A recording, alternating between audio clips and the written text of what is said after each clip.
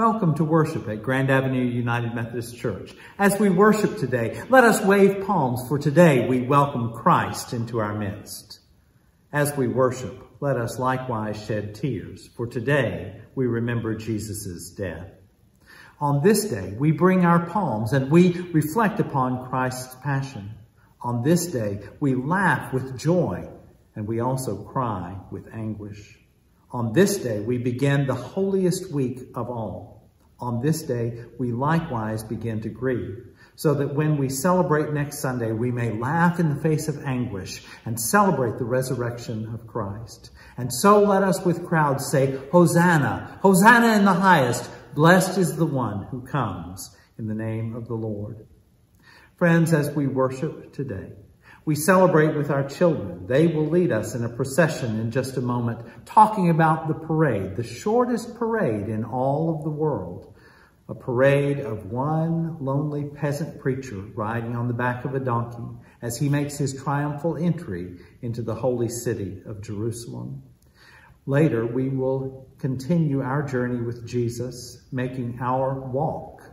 And as we have been considering those ways through prayer and worship, through study of scripture, through acts of service and giving and sharing our faith, we're going to see the way that Jesus himself embodied each of those, not only in all of his life, but even in the very moment of death. And so as we gather this Palm Sunday and this Passion Sunday, we welcome you to worship with us. As we worship, the words that you need will appear on the screen, but there's likewise in the comments and description attached to this video an order of service that also contains information about upcoming events in the life of our church. Each week, beginning tonight, Sunday evening, we will be having um, at 7 o'clock a service of devotion with music for Holy Week we will be meditating on each of the seven last words that Christ spoke from the cross. We invite you to join us on Facebook Live or on our YouTube channel as we are lifting that up each evening at 7. We will offer an in-person worship experience on Thursday evening, Maundy, Thursday, as our Readers Theater presents a dramatic presentation of the Passion of the Christ, accompanied by music both from our music ministry and also congregational singing. That will be at, at 7 o'clock on Thursday evening, April the 1st, here in our sanctuary. On Easter Sunday, we are offering two in-person worship services. The first will be at 8.30 in the morning. The second will be at 10.45. And we're asking that you would pre-register with us to let us know that you are planning to come so that we can make sure that we've uh, reserved a space for you in our sanctuary and that we will have room for all.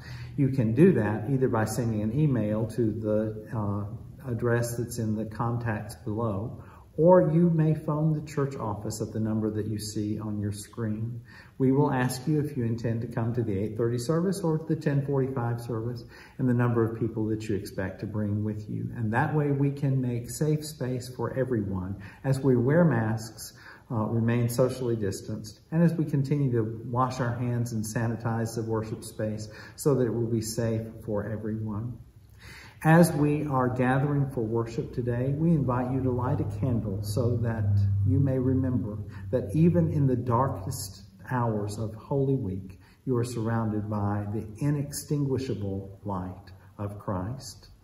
And let us, as we are preparing, go to God in a time of prayer. Will you pray with me the words that appear on your screen? Let us pray. God of all times and places, we confess that we would rather join the crowds than stand alone. We prefer the popular point of view to a solitary witness for justice and truth. We like safety and security while shrinking from the risk of involvement. We'll sing Hosanna when everyone else is doing so, but not when the hostile Good Friday forces may hear us. We do not like to admit our lukewarm response to you but neither do we want to be considered fanatics. We believe Jesus Christ came into the world to save sinners, and we know that means us, not just other folk involved in obvious evils everyone knows about. We ask you to be patient with us, to help us understand our own guilt. Then pour out your forgiveness in such a way that we are forever transformed. In Jesus' name, amen. May God bless you as we worship together today. Before you leave, do take a moment to go to the links below and register your attendance. Share a prayer concern with us if you would like. If you would like to make a donation to our ministry to support it online or through the mail, the contact information is likewise there. And now let us rejoice as our handbells lead us in praise. Hosanna, Hosanna in the highest.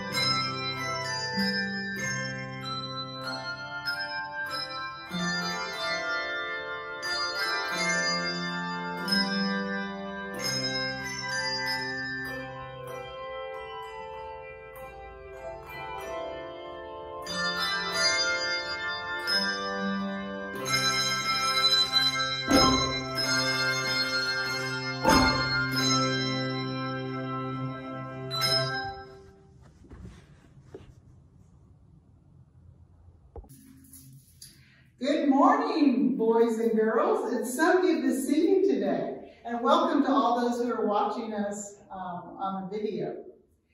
I'm going to tell you about parade. Did you know that Hot Springs has the world's shortest St. Patrick's Day parade? Now, for two years, they haven't been able to have it. But when Brother David and I went a couple years ago, we were standing on the street and they threw these beads at us.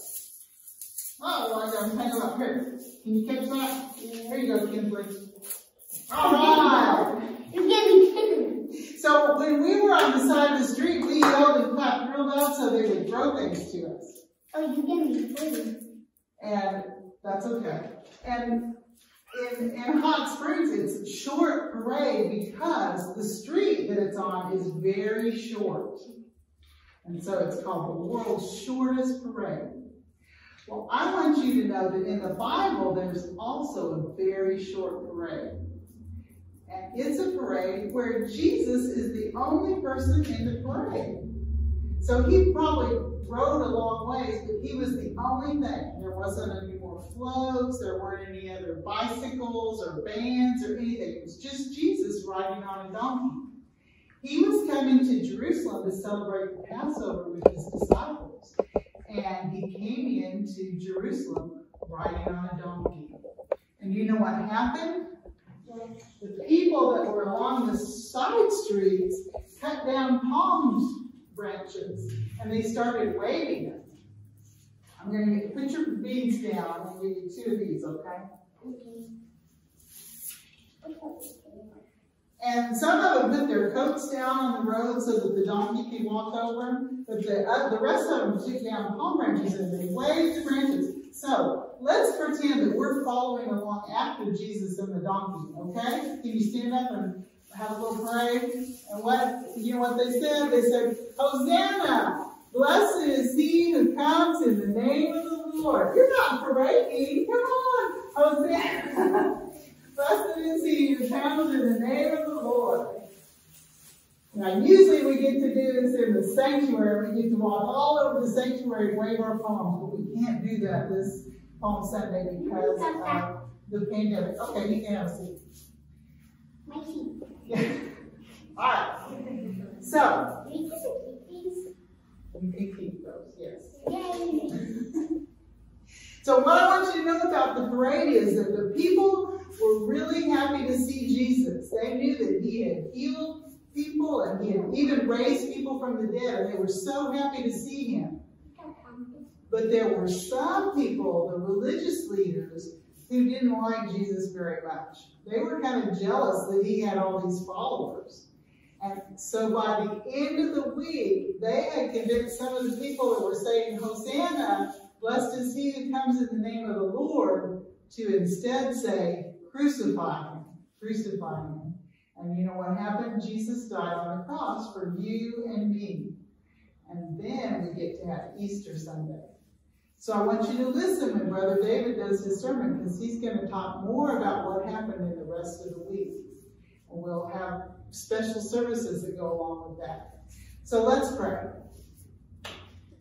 Dear God, you can say it after okay? Dear God, thank you for sending Jesus to die on the cross for me. We can hardly wait to celebrate Easter. Amen. Our scripture reading today is John chapter 12, verses 12 to 19, which tells of Jesus' triumph entry into the holy city of Jerusalem. Listen for the word of God. The next day, the great crowd that had come to the festival heard that Jesus was coming to Jerusalem. So they took branches of palm trees and went out to meet him, shouting, Hosanna! Blessed is the one who comes in the name of the Lord, the King of Israel. Jesus found a young donkey and sat on it, as it is written, Do not be afraid, daughter of Zion. Look, your king is coming sitting on a donkey colt. His disciples did not understand these things at first, but when Jesus was glorified, then they remembered that these things had been written of him and had been done to him. So the crowd that had been with him when he called Lazarus out of the tomb and raised him from the dead continued to testify. It was also because they heard that he had performed this sign that the crowd went to meet him. The Pharisees then said one to another, You see, you can do nothing. Look, the world has gone after him. May God bless the reading, hearing, and understanding of the Holy Scripture.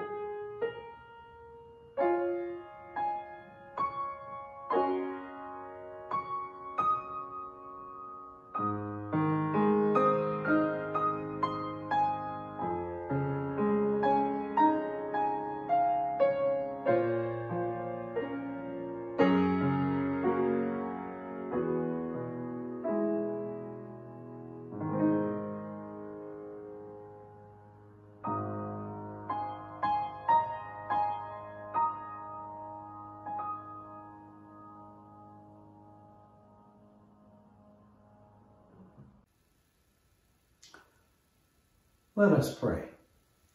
O God, as you have made yourself available to us in the life, death, and resurrection of Jesus Christ, receive us as we make ourselves available to you in his name. Take my lips and speak through them. Take our thoughts and think through them. Take our hearts and set them on fire with love for you. For unless you speak, nothing of significance will be spoken. Give us your word, Lord Jesus, and let the people of God say, Amen. Well, I don't know about you, but I love a parade. From the time that I first watched the Macy's Thanksgiving Day Parade, sitting on my dad's shoulders at the tender age of two, to the final steps that I made with the Jackson Central Merry High School marching band the year that I graduated, I've loved the pageantry and the procession. People of faith do too. For indeed, who are we but ones who follow in the footsteps of those who've gone before us, following in the footsteps of Jesus. From person to person, from generation to generation, God's truth is marching on. And so it is, especially this season, this season of Lent, we have been intentional about the steps that we have been taking. We've been going on a walk, going deeper and deeper in our relationship with Jesus as we make our way toward the cross of Calvary and the empty tomb of Easter. And we've been intentional about five specific steps. We focused the first week on prayer and on worship, and I challenged you to pray with me five times a day. The next week we talked about study, and I challenged you to read at least five verses of Scripture each day.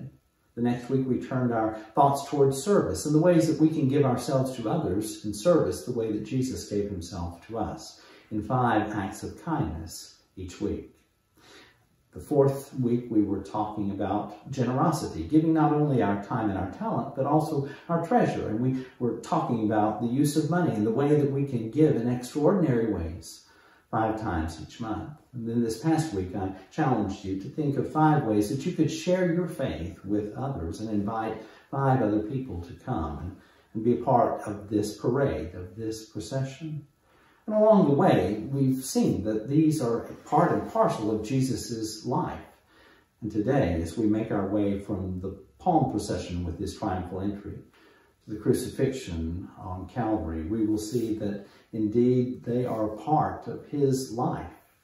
And they were part of his life even to the point of death. As we approach the foot of the cross, we hear again the words that Christ speaks from there. There are seven utterances that are contained in the scripture, and these words matter. When someone who is about to take leave of you, when someone is dying, the last words that they speak to you are particularly important. And that's especially true of Jesus because, after all, he was dying by crucifixion. When someone was crucified, they uh, were either tied or nailed to a cross and, and raised uh, for all to see. It was an act of humiliation was also an act of excruciating torture. For indeed, spikes were driven, not through the palms of the hands, but through the wrist, and also through the feet.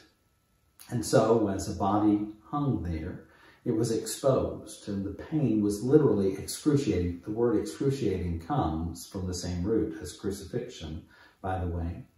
And whether a person died from shock or from extended pain or loss of bodily fluid, uh, it didn't really matter because it was a it was a horrible, horrible death.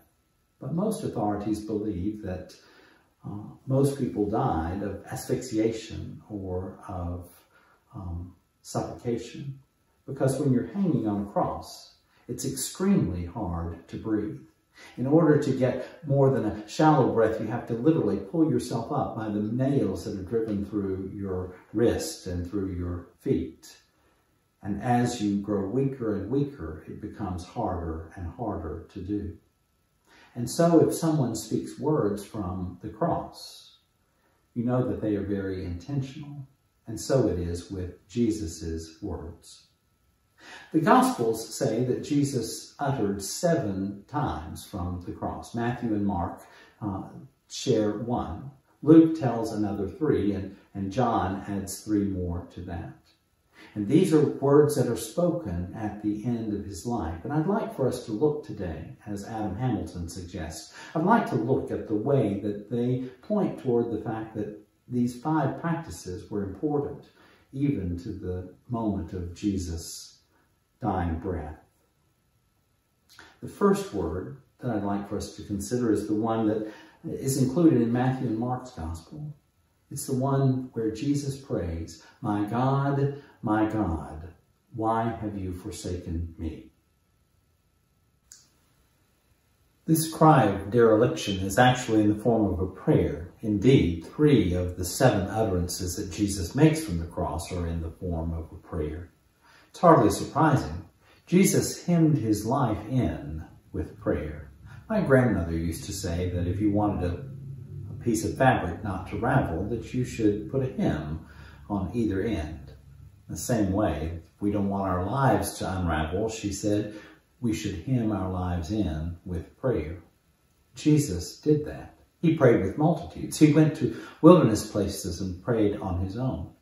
Before he began and when he completed anything, he blessed it with prayer.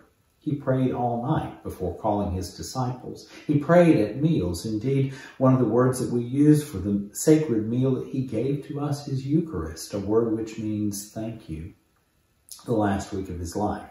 He spent every night on the Mount of Olives in prayer. And so it was hardly surprising that people could find him. He was in the Garden of Gethsemane praying the night that he was betrayed with a kiss, paraded through the town, tried on trumped up charges, and uh, crucified, dead, and buried. And here on the cross, he's praying, praying the scriptures. He's praying a prayer from Psalm 22, 1. My God, my God, why have you forsaken me? Which is to say that he was echoing the dereliction that King David had felt, the psalmist, when he had spoken those same words. How about you? Have you ever felt humiliated? Have you ever felt forsaken by God? Have you ever asked yourself, where was God when? looking at the things that have been happening in the news this past week, when there have been natural disasters and, and when there have been especially hate crimes, the things that have been going on in Georgia and the things that have been going on in Colorado, those mass shootings. We know that God doesn't intend this to happen. God gives us free will, and sometimes hate speech and hateful thoughts take over, and God allows these things to happen, but it's not God's will. Jesus knew that. Jesus knew when he was going into the holy city of Jerusalem, he knew what lay ahead. He had already told his disciples what would happen. But even though he knew, still in this moment he felt forsaken by God, which is to say that when we feel forsaken, we're not alone. Jesus can identify. The significant thing is that when he feels forsaken by God, the very next thing that he does is to express his faith through prayer. He prays, he turns to God. Sometimes when you don't feel faithful, but you still pray, it, it takes an even deeper act of faith. He's praying and he's quoting the scriptures. And indeed, with his very next breath, he quotes yet another psalm Father, into your hands I commit my spirit. This utterance, too, of course, is in the form of a prayer. It's a prayer that Jewish mothers would have taught their children to pray from the time of infancy in Jesus' day. The same way that your mother probably taught you or you taught your children to pray, now I lay me down to sleep. Jewish mothers in Jesus' day would have taught their children to pray, Into your hands I commit my spirit. Jesus is asking God in prayer, Why have you forsaken me? But with his very next breath, he prays, Into your hands I commit my spirit. Father, I am in pain, but into your hands I commit my spirit. I don't know what will happen next, but into your hands I commit my spirit. I want to point out to you that this too, of course, is in the form of scripture, which is to say that Jesus had studied the scriptures. His whole life was shaped by them. In the beginning of his ministry, when he was being tempted by the evil one, he quoted scripture in his own defense. And now his whole life has been shaped by scripture. He saw himself first as the kind of good shepherd that was prophesied by the uh, prophet Ezekiel. And now he's fulfilling the prophecy of Isaiah 53 as he becomes a suffering servant. He's on the cross and he's praying scripture, which reminds me of the importance for us, likewise, to study the scriptures and to allow our lives, the whole of our lives, the length and breadth and height and depth of our lives to be shaped by scripture. So I hope that you will continue even beyond this season to read the Bible and to let the Bible shape your life. Let these scriptures become your prayers. Which brings me to the next of the steps, and that, of course, is the step of serving. This is a rhythm of life. Uh, we wake and we uh, pray, Here I am, Lord, send me. We go on a mission. We go about our work. We go on ministry. We pay attention all day, every day. We listen for the call of God in our lives and we listen for the cry of people in need around us. And we give ourselves not only to God, but to others in God's name. A few days before Palm Sunday, Jesus had said, the Son of Man came not to be served, but to serve and to give his life as a ransom for many. And now he's on the cross. He's offering himself not only in service to God, but to others in God's name. He believes that his death is serving uh, to sacrifice the sins of the whole world. He's on the cross and he has this tender moment. Mary is standing at the foot of the cross, there by uh, one of his younger disciples, the disciple John, who in his gospel called himself the beloved disciple. And Jesus, while he is serving all of humankind, while he's serving God, also takes a moment to be mindful of others that he needs to serve. He turns to his own mother and he says, Woman, behold your son. Son, behold your mother. With this act of service, Jesus is serving his own family. He's taking care of his own mother. But he's also modeling for us what we should be doing, which is to say that if we are a part of his family, if we are adopted by the blood of his cross, that means that we have responsibility to love and to care for one another. John wasn't Mary's natural child, not a biological child. But Jesus was giving her to him and him to her. And Jesus has given us to one another that we might, in acts of service, love and care for one another as if we are family, because indeed we are a part of God's family. Which brings me to the next act, which is the one of sharing and bearing witness to our faith. Jesus said, let your light so shine before all the world that they will see your good works and give glory to your God who is in heaven. And his death on the cross was showing us who God is. He was showing us the height and the depth, the length and the breadth of God's love for us. He stretched out his arms and said, I love you this much. And with that, he died. Your sins are nailed to the cross and there's forgiveness for you. He's done away all that is necessary for your redemption, for your salvation the very night before he was betrayed.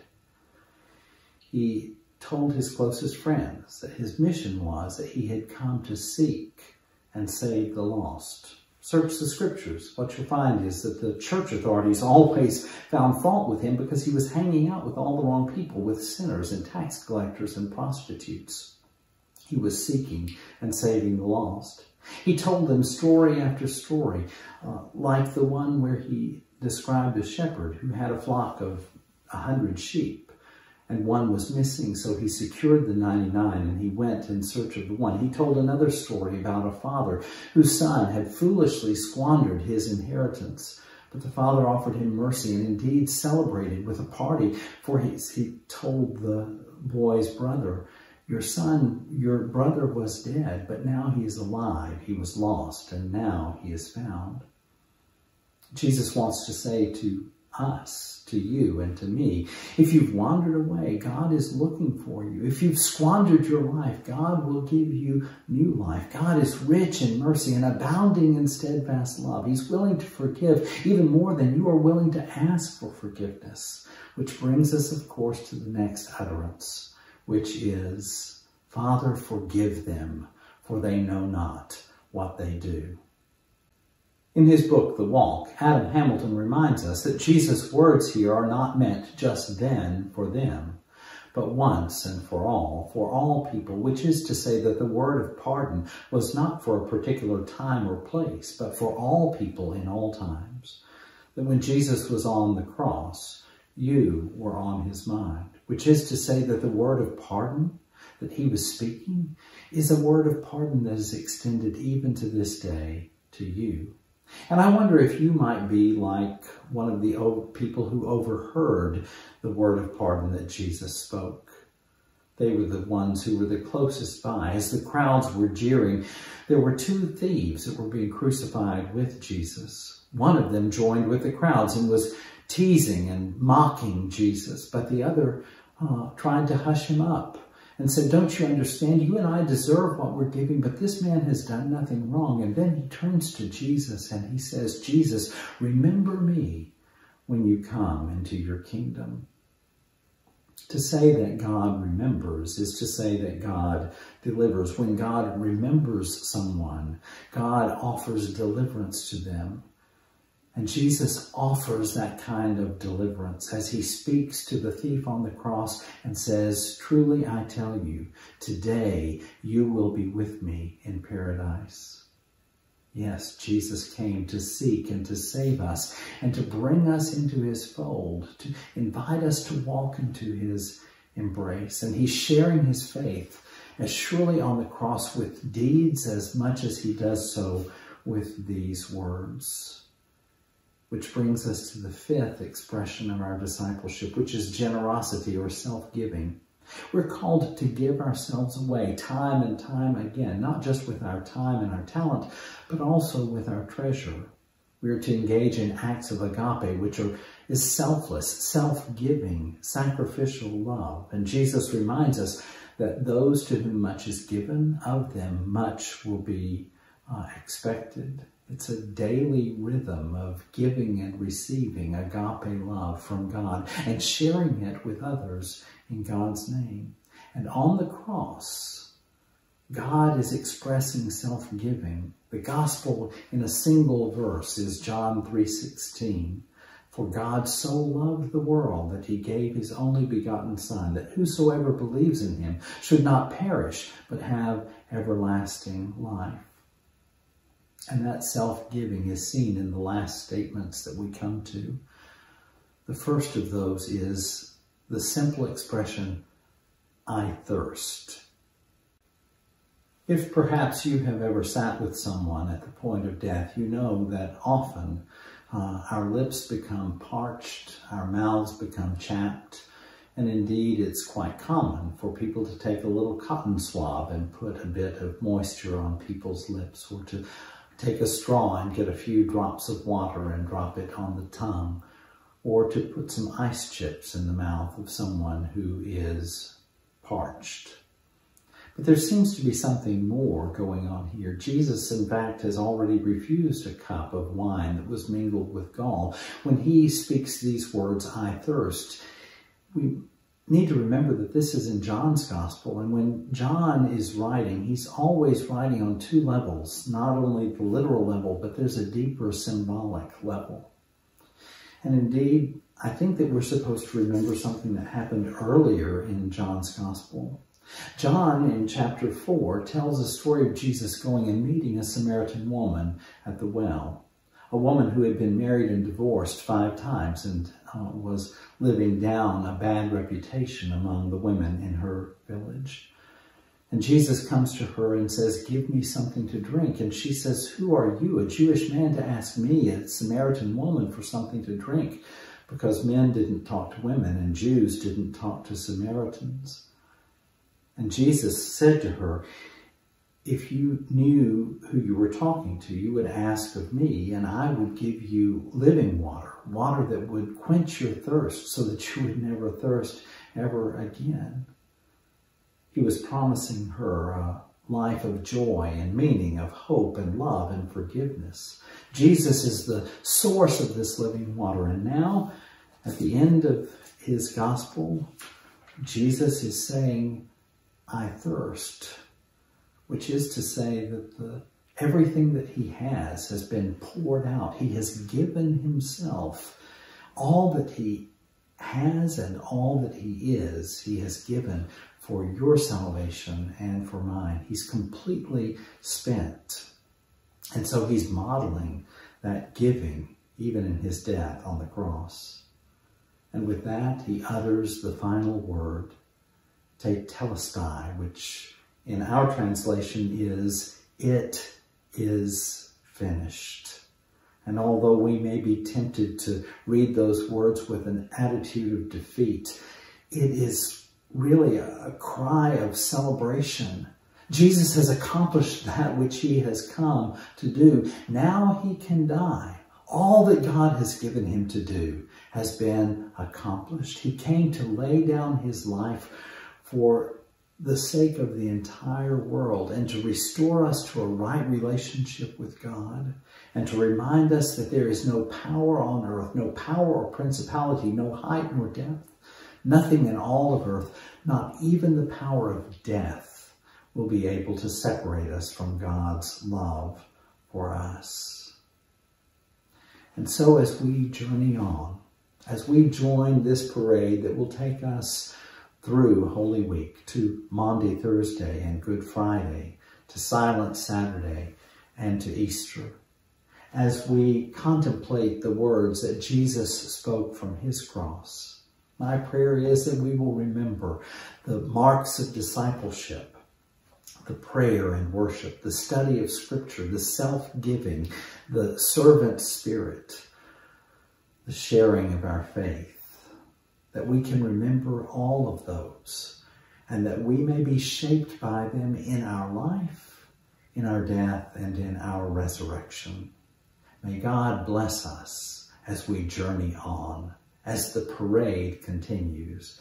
In the name of the Father, and the Son, and the Holy Spirit. Amen.